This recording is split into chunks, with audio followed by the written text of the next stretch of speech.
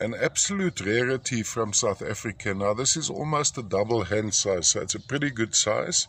A solid section of quartz uh, matrix to head. Um, but what is the main feature here? I need to show you this, and we'll take it in at this angle.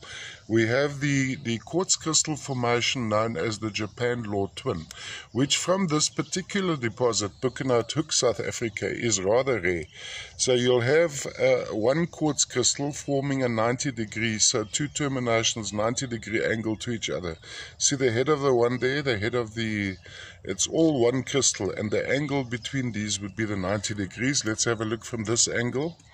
So you can see there is minor uh, scratching on the on the termination of this major crystal. So what we're looking at here is a Japan Law twin from uh, the arm of the spirit quartz, Boekenhouthoek, of course. So it is spirit quartz as well.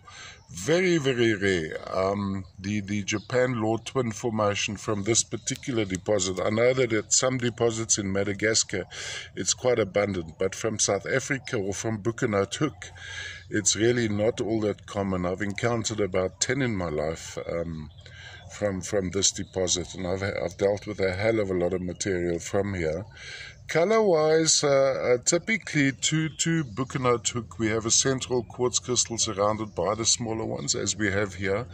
Color wise, we're looking at a very, very mild undertone, perhaps, of the amethyst with uh, um, maybe inclusion and, and maybe some coating of, of hematite and stages of oxidation going into goethite. Uh, here's also nice, look at that, look at that 90 degree angle on the armpit over here, running across like that. I'll just give you an angle, another shot from this angle. And of course, size-wise, a little bit bigger than a hand size, the specimen is. Quite, quite lovely all the way from South Africa. A, for any serious collector of quartz form, this is an absolute rarity. Unfortunately, a little bit of scratching on the faces.